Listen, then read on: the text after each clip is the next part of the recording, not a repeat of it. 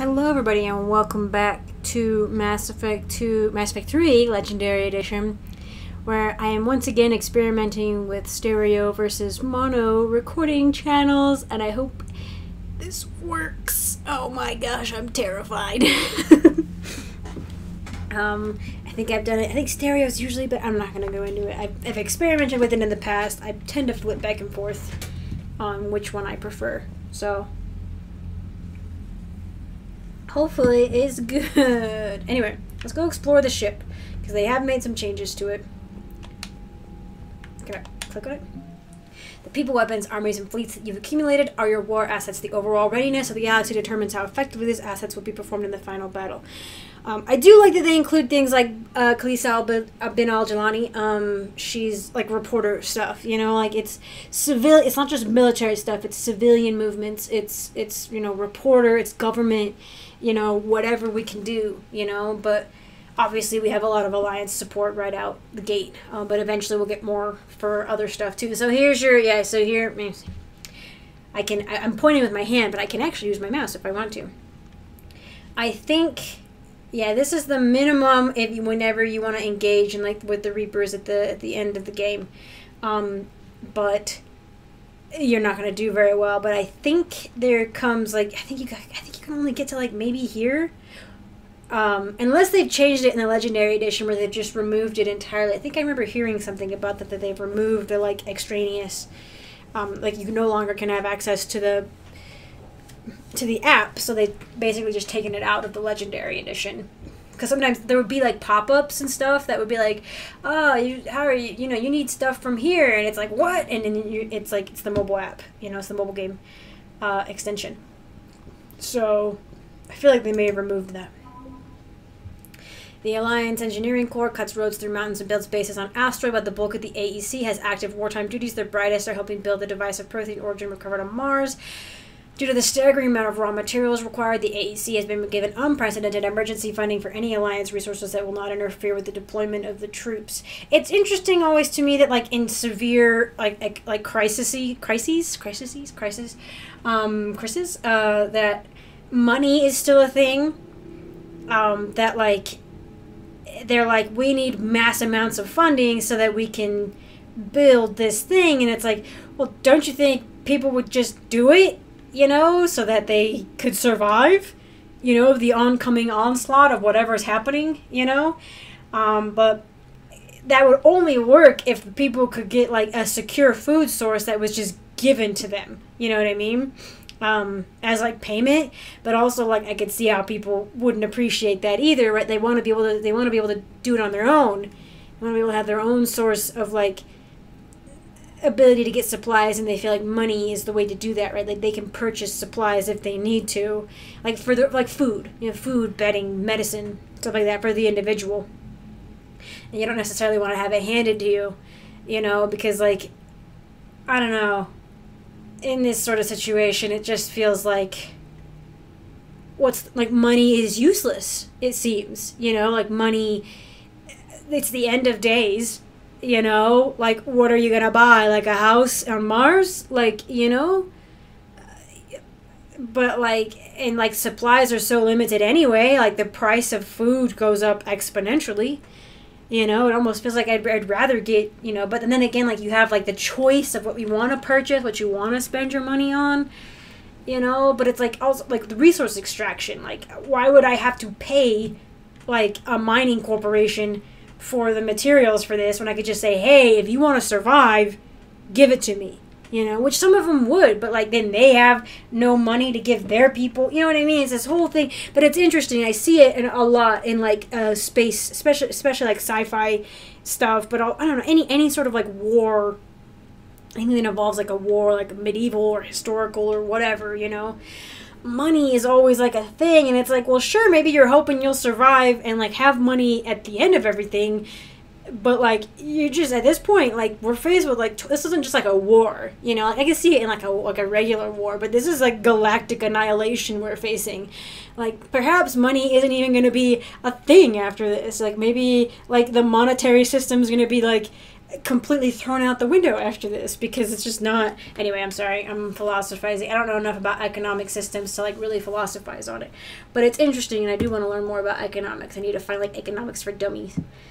Specifically, I think it's interesting in like a trade, like uh, pre not prehistoric, but like ancient um, trade routes and stuff like that. I find that really interesting.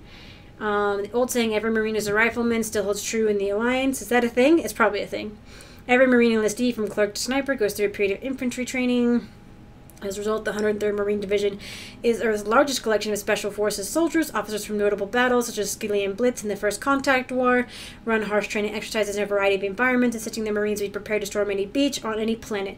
This training has been useful in the Reaper War, as the 103rd can be fighting in an Arctic desert one week and crawling through jungles the next. Rough. Real. The first fleet was stationed near Charon Relay when the Reapers invaded the Sol system. By the time Admiral Hackett issued the order to retreat, it says, which we haven't talked about, but Admiral Hackett did issue a retreat order. When does I don't know where it goes into that. Maybe maybe I need to do like a whole like uh, codex reading, like couple of entries. I think I did that the first time, where like I would play like several episodes and then I'd have like a whole codex reading like episode, you know um, just to kind of keep keep everyone up to date because there's actually really important information for the game for this game particularly in the codex like updates on the reaper war and stuff like that. Not like super essential but really good to know for background information. Uh, because i think i feel like somewhere hackett goes into like the details like the hardship the like fraught nature of, of calling for a retreat you know and leaving earth behind you know the size of the First Fleet, once the largest in the Alliance Navy, had been cut in half. Commanding Admiral Innes Lindholm made the painful decision to use a tenth of the fleet's remaining vessels as cover so the remaining could escape.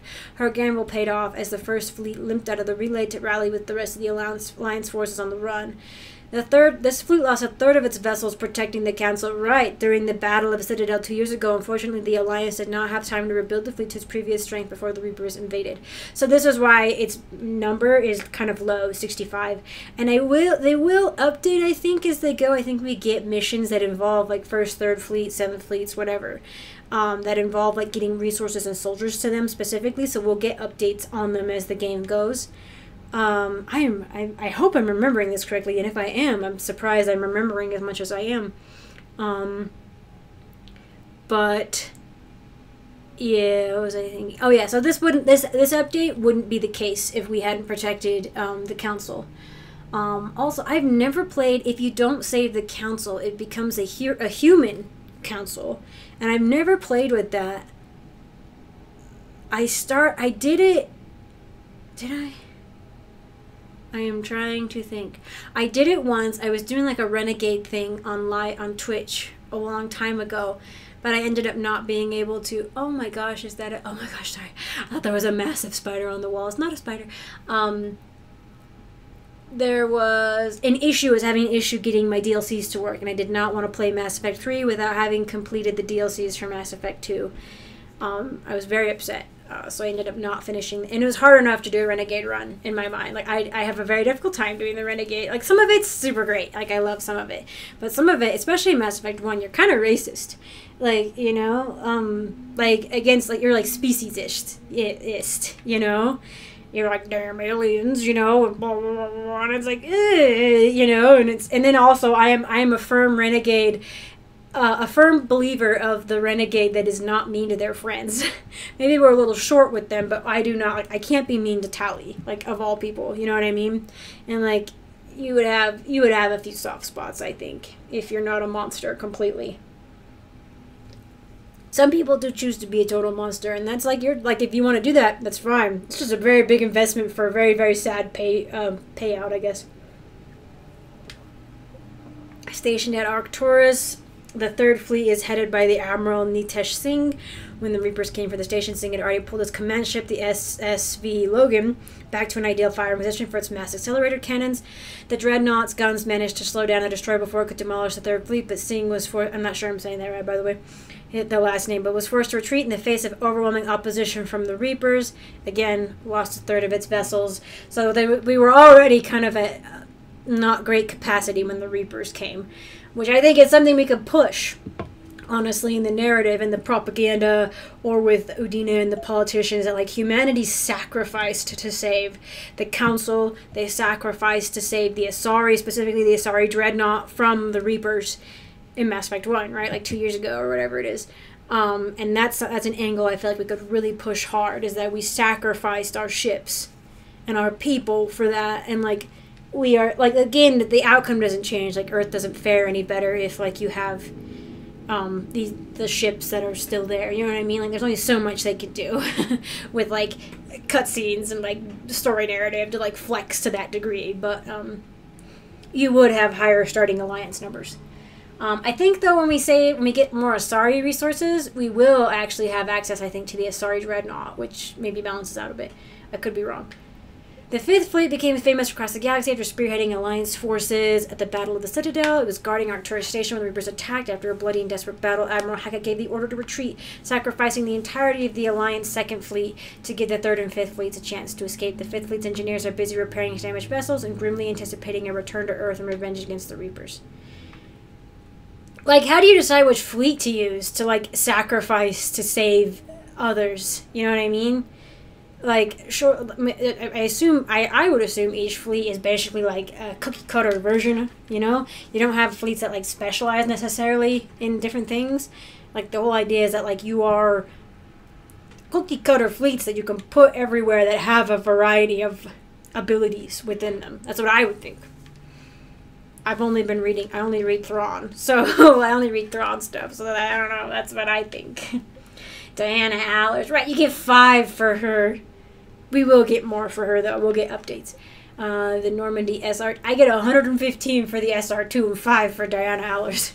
I think she's supposed to be based off a famous reporter or something. Somebody's probably already told me in the comments um, again, because I've probably been told like eight times in my life. Um, but I don't know. She just felt like a very weird. Also, I did hear. I think I did hear that the act, the voice actress who voiced Emily Wong, was like unable or didn't want to reprise her role um, even though she was everyone's like favorite reporter um, in the game.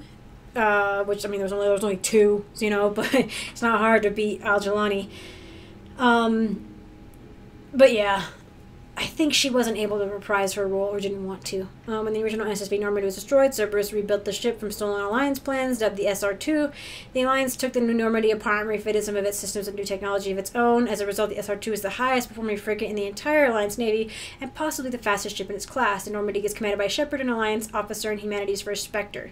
I can't believe Anderson was going to take my ship from me. He's like, this could be my mobile command center. Which, to be fair, if I had to serve under Anderson, I'd be like, woo, sure, you know. Um, but only if he let me back in. If he had left me under house arrest and like freaking took my ship, I would be very sad. Oh yes, so we had the updates from Mass Effect 2 where we where we upgraded the ship, the Thanix cannon, the the armor, and the barrier technology. Yep. Mineral resources from the last game. Whoop whoop. They seized all recovered elements. The surplus, material surplus has gone towards building the Prothean device. A hundred, a hundred points from that. Nice. Freaking Al Jilani's got ten. It's okay. Diana starts out low because again, we do get. I think we, I'm pretty sure we get updates from her that give her more points.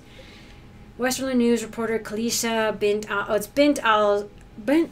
Bint Sinan Al Jilani, I was missing that whole like third name, reached out recently to reviews of the wartime plea for unity and cooperation. Uh, her sincerity touched extranet viewers and donations for war relief are pouring in, both to Lions and alien allies. I'm not 100% sure how this comes out if you punch her. I did try to punch her once, um, but I think I didn't have enough. Um, there's like, I think there's like a sec, you can punch her once or something, and then like there's a second one. Um, and I think I was unable to make that because I didn't have enough Renegade. I think. And she like freaking like counter punches you and knocks you on your butt and uh, it was humiliating to have a reporter like trounce a military officer. I reloaded that. I was like, nope. I kind of just wanted to see what would happen. Um, you know, like I wasn't actually going to go through with it. Well, maybe I was actually because she was really she was really frustrating me. but like at the but I just kind of wanted to see what it what would happen. And she absolutely, if you miss, if you mess up, she trounces you, and it's really frustrating. Like it's really embarrassing, not necessarily frustrating. Okay, you're not someone I can talk to. Neither are you, but look at all this stuff. So it seems like um, Shepard, or not Shepard, Anderson was kind of trying to prep for the Reapers in his own way. Um, he was he was retrofitting the Normandy and being like, oh, we need to, you know, do all the like probably kind of couching it in like uh, different language, not not necessarily about the Reapers. Hell. Come on, Sarah. If Thessia was lost and Earth hadn't been touched yet, you can be damn sure we'd be going It's true. Borders. Like people get it, right? Like some people do. I, I this used that used to actually take a lot longer. I think it's supposed to be like a loading screen, and it's frustrating. Look at this person moving around. Alliance has found a new Cerberus lab on Sanctum. Well, Admiral Hackett would like you to investigate. Sanctum. Uh, also, I do really enjoy that people walk around in this version. Commander, you've got a new message at your private Thank you. I will look at that right now. Alliance forces are stretched thin. We need your specific talents for a series of ops. The missions will open doors for the Alliance in places we can't touch through conventional means. We'll deploy operatives to hold points after you completed your objectives. I need you to head to a Cerberus lab. Cool. Uh, and he'll bother me when I, I'm on, on my way. Reinstatement. This formally acknowledges my reinstatement. Blah, blah, blah. I'm hereby authorized. Yeah, yeah, yeah, yeah, yeah. I am granted diplomatic authority to establish treaties with non-human races as required to support your mission, which is massive. Honestly, like reinstatement does not include that. That's extra. Flash, flash, alliance, man. This is a galaxy-wide alert for all human territories. Threat condition Saber One. Earth under Reaper attack. All Alliance military personnel directed to evacuate Sol System. Oh my goodness. Not even gonna try to go to. Yeah, do not do not attempt Earth approach do not attempt earth approach. And that i mean it's it's horrible. It sucks. But like it makes sense. Like on your like if you if you threw like a few frigates in that trying to be like oh we're gonna break through like a what are you gonna do when you get it? If you got it and b you're just gonna die. And you could be used in a different way as as as terrible as it sounds you know? And like i get it. Like some people would try and like i wouldn't blame them. But you're just gonna die uh, all remaining Alliance personnel meet outside the Sol Theater, directed to muster at pre-appointed staging areas. Independent action is authorized. Also, how in the world are we going to keep this Prothean bit, the device secret? Like, I think I think they go into it a little bit, but like, or maybe they don't. They're just like, yeah, it's totally secret. But like, Cerberus has basically infiltrated a lot of our stuff. Um, the the Reapers have spent like decades, um, in some cases, like getting. Um, like operatives in place, like like uh, brainwashing or bribing people, you know, um, and like they have like the indoctrination and everything. It's just like I don't think we'd be able to keep it secret, you know. My dog. I was a contractor working on the Normandy's haptic interface when it was in dry dock. Your VIED emailed me to let me know I left my dog mech on board. I'm all the way out in Terra Nova now and hate for you to go a million clicks out every way to drop off my dog. Please just take care of her. It's like exploring, sniffing chemical trails and 750 volt outlets. Thank you and sorry for the trouble. I promise she won't be too much of a headache. I have a dog. Uh, I don't remember that. The Quarian fleet. Where is the Quarian fleet? Yeah, yeah, um, uh-huh, Turian, and yeah, they have other concerns. They well, they're keeping it a secret. Greedy and short-sighted powers will always try to gain the upper hand in times of galactic crisis. We only hope that whatever the Quarians are planning does not interfere with the one thing that should matter: stopping the Reapers. And people are always freaking hating on the Quarians too. EDI, while we were in dry dock, Joker suggested a small welcome. Joker suggested a small welcoming gift would be appropriate to have on hand should you be reinstated as commanding officer. As the ship not, does not have the capacity to accommodate the dancers he suggested, I choose I chose something from the official systems alliance catalog. Soldiers who have held an N7 designation for five or year more are entitled to a commemorative hooded jacket for wear on off-duty hours. Hours. You will find it among the selection of casual clothing in your cabin. Hey, I got that in two, but we only got that in two because it was from Mass Effect 3 and they included it in two in the Legendary Edition. That's really sweet of her. Some of the data you allowed me to research and upgrade for you. Simply access the terminal in Dr. Sony's office at your convenience, and you may choose how and when to implement it. Have a pleasant day. Remember Glyph from the Shadow Broker DLC? Um, Glyph, we'll, we'll get messages from Glyph because it's holding down the fort at the old Shadow Broker base, I believe, and Liara is using the Normandy as her mobile one. Priority Eden Prime. Cerberus has attacked Eden Prime and is now occupying its colony, or the colony. Alliance forces are stretched too thin right now to attempt to liberate the colony. But we've been doing what we can to covertly aid the local resistance. In the process, we've learned that Cerberus has uncovered a major. Pro- Again? Why haven't we been scanning? Eden Prime had a huge Prothean artifact like oh, two years ago, and we haven't freaking. I get it though. Like there's so much to do and only so much uh, you can do. You know. We don't know what it is, but it appears to be the reason for the attack on the colony. We need you to infiltrate the colony and recover the artifact, just like the good old days. All right, Samantha Taylor, let's talk. Commander, come to check on your new recruit. Just wanted to see how you were doing. Still trying to get my bearings. When I was working on the Normandy's upgrades, I left at the end of the day. I didn't even have a toothbrush or a change of clothing until I made some emergency purchases on the Citadel. Next time you need something, just ask. You're not alone here. Oh, i i it's no trouble, Commander. I'm sure you have larger concerns. We can put in a requisition order. My toothbrush is a Cision Pro Mark IV. It uses tiny Mass Effect fields to break up plaque and massage the gums. It costs 6,000 credits. Okay, yeah. You're on your own with Hmm. that. In any event, I appreciate you giving me the chance to stay. Was there The else? last version of you died. How'd you end up in the military anyway? My family didn't have money for university. When the Alliance saw my aptitude scores, they offered me a full scholarship. I served my required years after graduation and decided to stay. I really like the challenges of the lab. Al- although, I'm sure I'll grow to love frontline service as well. Well, it takes a very different person to be able to do that. I'm surprised you're worrying about it. oh, I'm being mean. We got bigger problems. I'm being right mean. now. Oh, believe me, seeing the Reapers on Earth was terrifying. But I won't help anybody by bursting into tears here in the CIC, will I? Being here on the Normandy helps. If anyone in the galaxy can stop the Reapers, it's you. And if flagging your messages and managing strategic intel helps you in any way, then it's worth it. Yeah, she's definitely overqualified to be my VI, essentially. She's my communications officer. Um, but everybody's got to have multiple jobs, you know? You worked in Alliance R&D? Yes, you'd think quantum entanglement would make communication easy, but imagine incorporating multiple incoming sources and then networking them with extrapolations of time lag data to construct a coherent situation GUI. It's an exciting challenge. Um, for me, anyway. I love just the dead, the deadpan stare. Where are you from originally? A colony in the Terminus systems, actually. Though I studied on Earth, at Oxford. My parents were from London. They loved Earth, but they wanted the freedom a colony life could offer.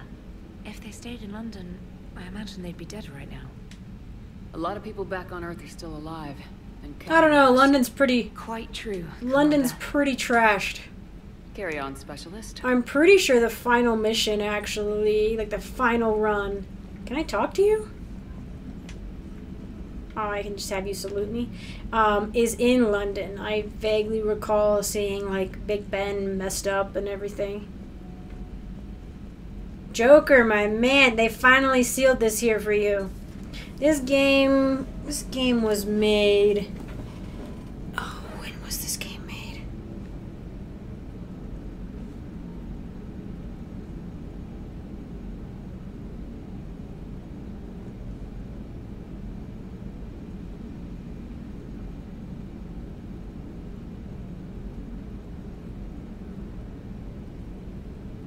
I knew it. Yeah, okay. I I feel like I remember saying this when I first played the game.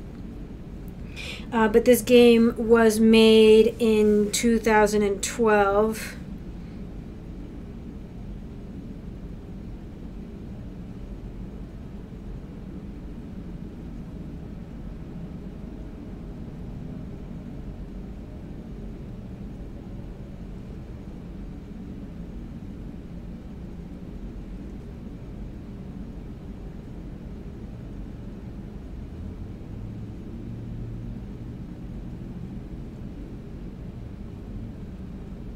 Oh no, I don't know why I was I was mixing up the dates there.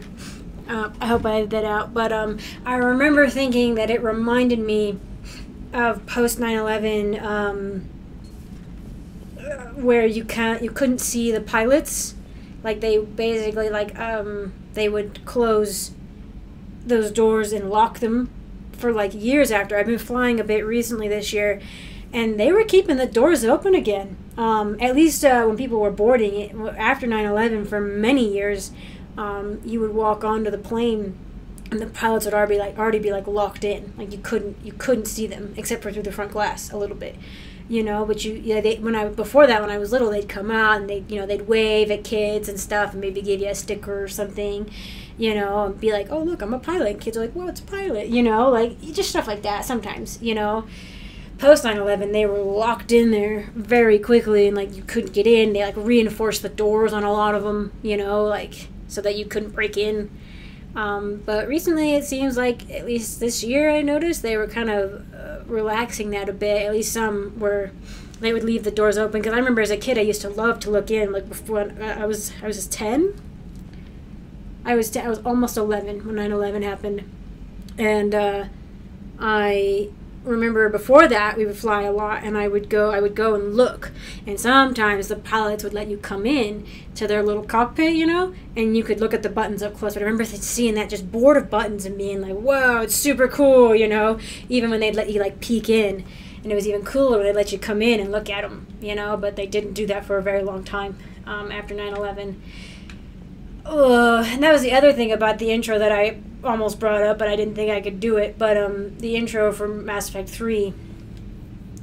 I don't know, I'm not trying to be flippant about this, but in some ways it did remind me of the videos I would see on 9 11 um, when I watched the live feeds, you know, when people were falling out of the buildings. And thing I remember the most is seeing the debris clouds coming down the streets and people like running away from them and hiding under cars and coming out like you'd see them later like covered in blood and dust. And that's what I think of sometimes with um I was very young when I watched all that. Of course, you know, our schools tried to make it so that we didn't, at least my school didn't have it on. Some schools had it on. My school in the classroom didn't have it on, but we would all take passes to the library. Half of us ended up in the library because the librarians had like five TVs up with different news networks. And we would watch it. We'd go in there and watch. We'd hide behind the racks and watch, like the book racks.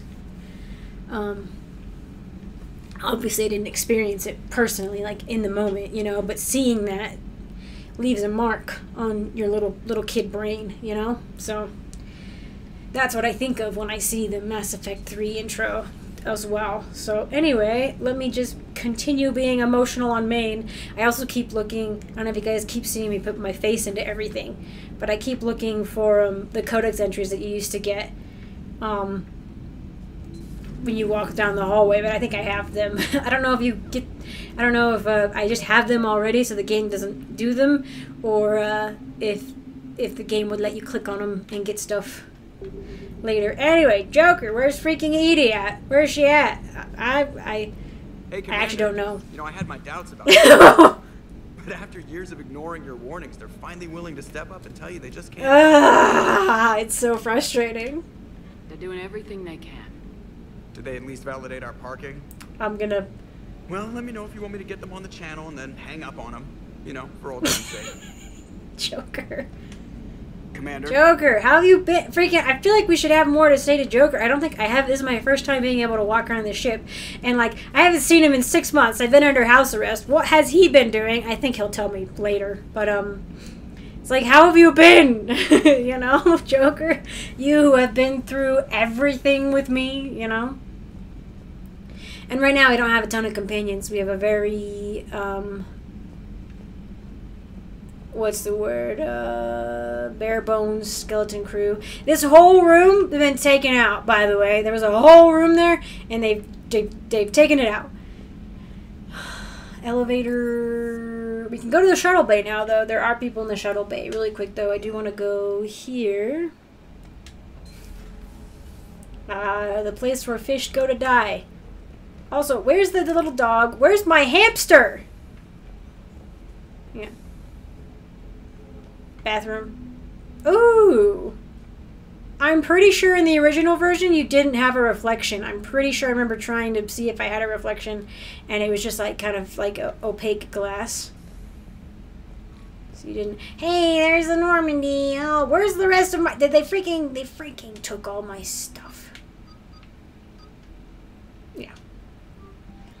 Out, out, out.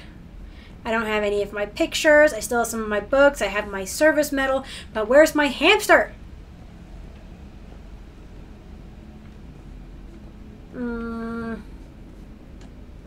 I actually really like the casual clothes in this one. Um, do I have the ca- Oh my gosh! No, it wasn't Casa. What was it? What was the one? I it wasn't Casa in the last game. Kestrel. It was Kestrel.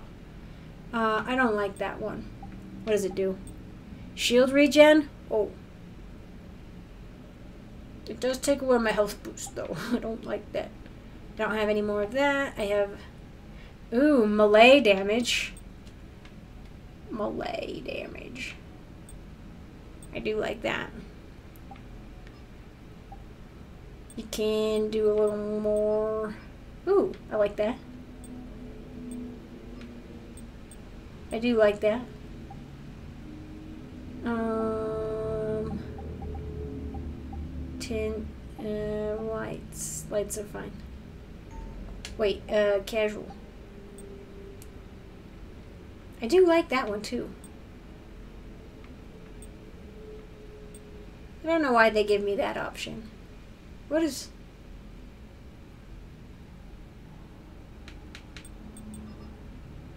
One. This one's just beefier. Right? Yeah, it's beefier. I like it. Uh, and the classic hoodie look. Dang it! I need to get. I need to get the mod that gives me the, the other dress back. this one, I don't know. It just makes me look like one of those reporter ladies. I don't like it at all. Like I, it's all right. It's not the worst thing, but I also I don't like that they they changed Shepard's body model. She's a she's a hev- not heavy set. She's a she's a muscular woman, and they this one I remember. I think I actually remember liking this one better because it does give her some of that like shoulder breadth back, and it's like look at she wasn't like a freaking Zarya from Overwatch, but like she was very muscular. She doesn't have spaghetti arms. Okay, let's do that. Where's my hamster? Also, where's the dog?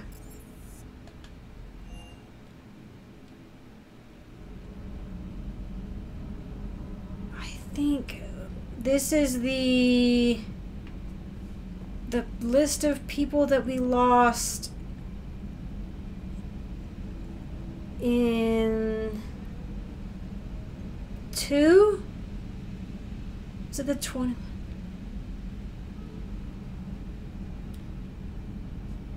I'm not. I don't 100% remember because I don't think we didn't really have an official crew assigned. I don't like that they've closed this off. Oh, sweet, the Destiny Ascension. I forget that apparently they packaged some of my stuff. Put it around the ship. I do like the upgrades they made. You do get to see people playing poker in here sometimes. It's fun. Important in any uh, wartime vessel is a place for people to chillax. And in this one, they don't let you go, if, depending on what your gender is, they don't let you go into the opposite one. Like, why? like, it's not something I was worried about before until they locked it off to me. Now I'm like, why won't you let me in? so we made some changes here. I have to admit, I don't, I don't like the couches in Mass Effect. I don't like them. They look kind of weird. Liara is in here. She's in there. Miranda's old office. Ah, uh, shoot. I should. Uh, we only really, yeah. I should go uh, on this one. It's getting a little long. Sorry, I kind of just was chatting and reading stuff. Uh, we'll find. There's a few more people to talk to throughout the ship for sure right now. And then we will go to Palaven. There's not much more to be doing. Not not a ton of people to talk to. But I do want to do. I like to do a thorough walkthrough of my ship every time I come to a new game. Um, for the people and just to get a feel for my ship again. So Thank you all so much for watching. I appreciate it. Really quick, I want to say thank you to my patrons, to all my patrons, but to especially Reese Galino, my sapling tier patron. Thank you so much for your support. And an extra special shout out to Christopher, my tree tier patron. Thank you so, so much for your support. Once again, I hope you're enjoying the series, and thank you again for your support. You're the best. So thank you all again for watching, and I hope to see you in the next one.